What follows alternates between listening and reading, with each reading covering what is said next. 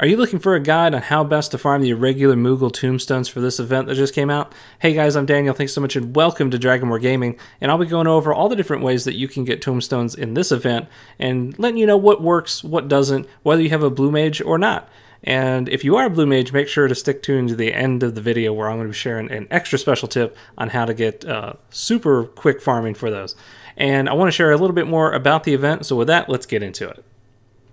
The Moogle Tombstone event is running from October 19th, and this is 2021, running till the patch 6.0, aka Endwalker.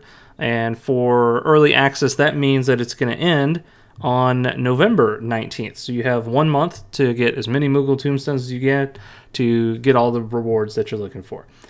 So with that, we have uh, a little bit here. I'll, I'll show some of these uh, in greater detail but just to kind of give a quick overview, you're going to be challenging different, uh, you know, events or, or rather specific duties that you'll see. Uh, anything with the little Moogle icon is what will give you these irregular tombstones.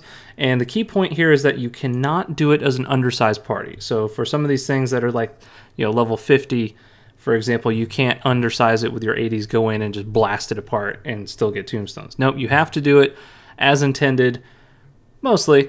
And by that I mean doing it synced and you know having a full party to actually do this content. I wanted to go through real quick just to kind of break down you know kind of my ranking system for what I think the, uh, the these different ways to get these tombstones are. So starting uh, at the top here, so first is Castrum and Praetorium, our main scenario dungeons that you queue for main scenario.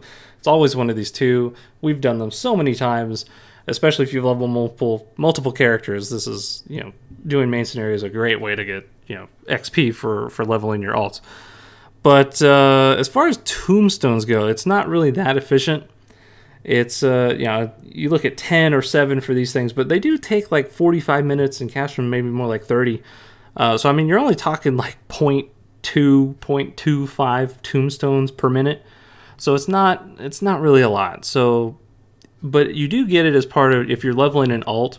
So I would rank this like a 5 out of 10 just because only if you're using it also to level your characters. Like so if you do them once a day uh, just for your uh, just for your roulettes just to get some XP, I I do like that. So I'd say like a 5 out of 10 just for the usefulness of it. The next one is Amaurot. So this is a level 80 dungeon. So it gives 5, uh, which is nice because yeah, some of the other dungeons down below don't give as much. So still running this, I mean, it still takes like 15 to 20 minutes. You know, you can't do it unsynced because, you know, we can't, we're not past 80 yet. Uh, so this particular one is a little bit better. It's, you know, maybe like 0.25, uh, but you can't run it very fast. Uh, you know, even wall-to-wall pulling, I mean, it's there's still plenty of uh, things that'll slow you down in, in the different fights and the different uh, mob pulls. So as far as farming tombstones, that's really the only thing you're going to be using it for. Uh, I'd say a 3 out of 10. That's not really worth your time. The next ones here are PvP.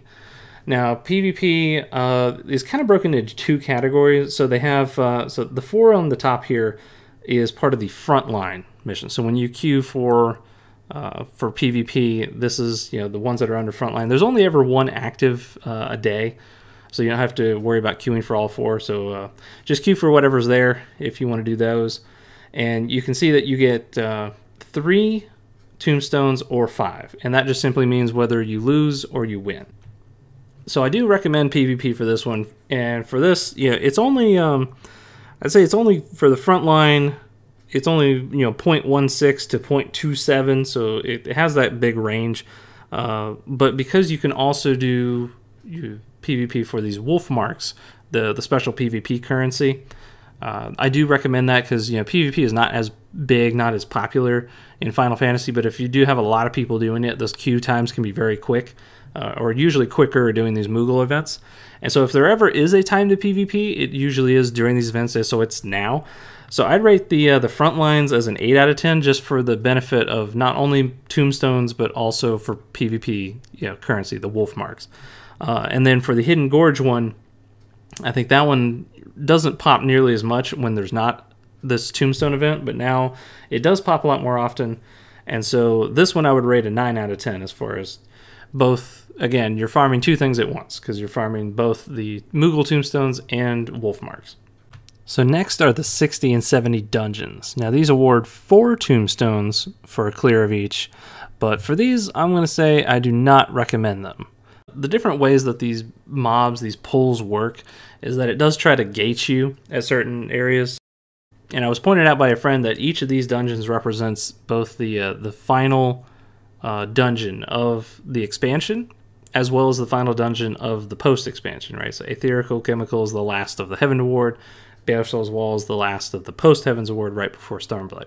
And because they're kind of these story heavy dungeons, they are there's a lot more going on, they're a lot more intricate, and therefore there's a lot more that'll slow you down. So I would not recommend these for Moogle Tombstone farming. So even though you can use blue mages, and you can see in some of the video that we have done that, they're just simply not as fast because there's too many things that gate you and slow you down. So the next one here is the level 50 content, the level 50 raids.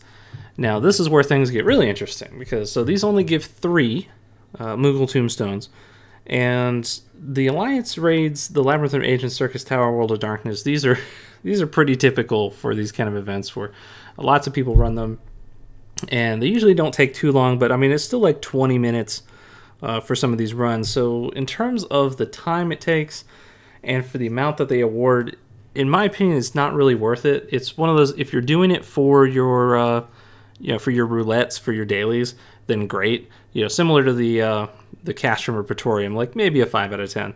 But if you're doing specifically and only for Moogle tombstones, and you've already done your roulette for the day, I, this drops to a two out of ten. I would I would not do Labyrinth of the Ancients, Syrcus Tower, or World of Darkness. And then when you get to the the regular raids uh, for AR, so we're having uh, yeah, Binding Coil Bahamut turn one. This one I'm putting as a one out of ten. This is the worst one that you can do. The reason is because this is an AR when they were still kind of finding their footing as far as what the raid content was going to be in this game. so they kind of copied a little bit of the style that WoW used, where there's you know there's some trash before the boss and so you had to do all this clearing of trash that was you know not trivial just to get to the boss. And it was it, this one takes so long even as synced you know content and even trying to use blue mages like just getting to the boss and then killing it was just it's just too much of a hassle. So one out of ten for that one. But things completely change for Binding Coil Bahamut Turn 2. So if you've seen or heard on Reddit, and uh, I've actually created a whole separate video just for this turn, for Binding Coil Bahamut Turn 2, also known as the fight of ADS. And this particular one is by far and away the best way to farm Moogle Tombstone. So this one gets an 11 out of 10. Like this is how broken this one is. So the I'll I'll have more details in in the video in my in in my video in the description below but uh, this particular one does require, again, blue mages. Blue mages are just king of this synced, you know, level 50, 60, 70 content. So for the last section, the 60 and 70 raids and trials, these are slightly better than some of the other options, but they're nowhere close to the Binding Coil turn 2 if you have blue mages. So if you don't have blue mages, this is where I would go. I would recommend Containment Bay P1T6. I'd say this one gets about a 7 out of 10. Uh, so again, I would still probably put PvP higher just because you're also getting those PvP uh, marks as well. But so I think Sophic gets a, a seven out of ten. I think the rest of these, I'll say these guys get about a six out of ten. I mean, they're still fast, they're still doable. Uh, and then Alpha Alphascape is you know, for Omega. I this particular one I think is like it's just a little bit harder. It takes a little bit longer, and so this one drops down again. I'd probably say a two out of ten for this one. This was usually not worth your time, uh, but the other ones at least are quick enough that, that they might be worth it. Guys, I hope you found the video helpful. If you found value in the video, please make sure to like and subscribe for more Final Fantasy guide content coming your way. And uh, if you still, uh, if you're looking for that Blue Mage farming video for ADS, and so you can farm tombstones super, super quick. Make sure to check that video here. Also a link in the description below. So guys, this has been so much fun. Thank you so much for watching. Stay awesome, and I'll see you in the next one.